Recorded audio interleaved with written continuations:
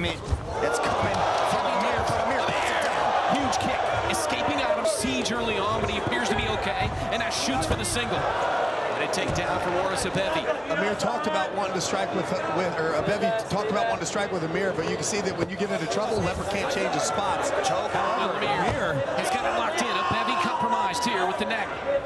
Baby's trying to sneak that foot out, but that choke. Now he's trying to fight the hands, can't get the foot free, but he does separate the hands, works back into guard. Baby's a very slick grappler, especially off his back. He's not just gonna sit there and try to hold and try to uh, control posture. He's gonna look to finish, especially with that triangle and armbar. Yeah, this is what I was talking about Abevi, like digging himself in a hole, hitting second gear sooner. The problem minute to go in the first. Spinning back kick from Abevi, and he got caught. Counter on you. Amir lost his balance there, but firing knee from Abevi. And that's scared to throw these shots, Rich. He's throwing caution to the wind. But he took a cut to from Amir. get Halil Amir What he looks like he's fighting for in this. Amir, his straight left has been phenomenal so far. Missed with it that time, though. Three and a half to go in the second. Jumping in with a short knee is Halil Amir. The, the shots that he's been hit with, This time he misses on the takedown and takes some heavy artillery. And another big left from Amir, and then the left. Oh, he's going going for for the the calf slicer, going for the calf slicer. Oh, here it is. Wow. Can he finish it right here? He's Less gotta than 36 in the second.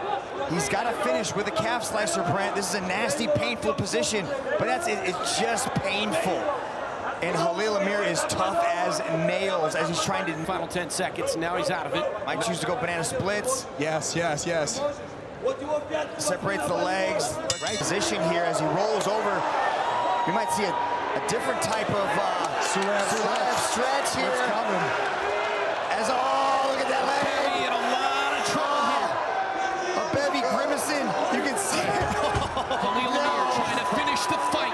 I'm getting Herb Dean flashbacks. looking intently. I'm getting flashbacks of Adriano Moraes doing this to Geje Eustaquio.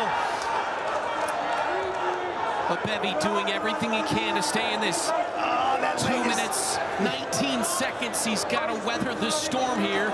Trying to trade a couple of lefts. Oh, look at him, Betty giving This kid- off that leg. This kid is amazing. He's throwing punches while he's stuck in a Suloev stretch.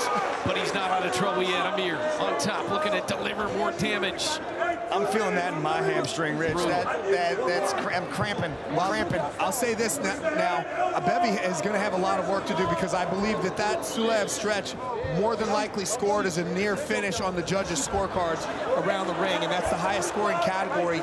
So with this being kind of a close match or question board, Sure, he's not taking a lot of those elbows from the bottom position as he sneaks around the back. This is a great look in the judge's eyes to end here in the 30 seconds.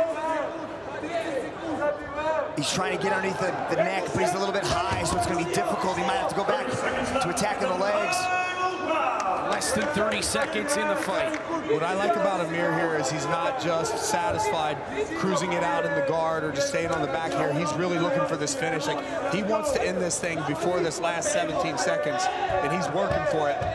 Yeah, this co-main event is as advertised as Bevy tries to sneak out the backside, but Amir wasn't having it.